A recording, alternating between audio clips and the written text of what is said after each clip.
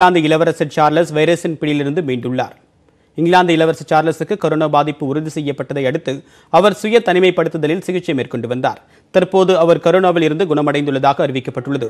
ஆயுர்வேத மருத்துவ முறைகளின்படி வழங்கப்பட்ட சிகிச்சையால் சார்லஸ் குணமடைந்ததாக மத்திய ஆயுஷ் துறை இணையமைச்சர் ஸ்ரீபத் நாயக் தெரிவித்துள்ளார். பெங்களூருவில் உள்ள ஆயுர்வேத மருத்துவமனை வழங்கிய சிகிச்சையின் மூலமாக அவர் கொரோனாவின் பிடியிலிருந்து மீண்டதாகவும் தெரியவந்துள்ளது. But working together to improve the immune system that is the need of the hour. So i would say that let us do that together. Government of karnataka is doing a wonderful work. Now the uh, karnataka government is also uh, initiating and there are uh, immune boosting medicines in ayurveda homeopathy naturopathy all the systems. Let us do that along with the western medical interventions and allopathic treatments and management. That's the right way. That's the way we can help all the patients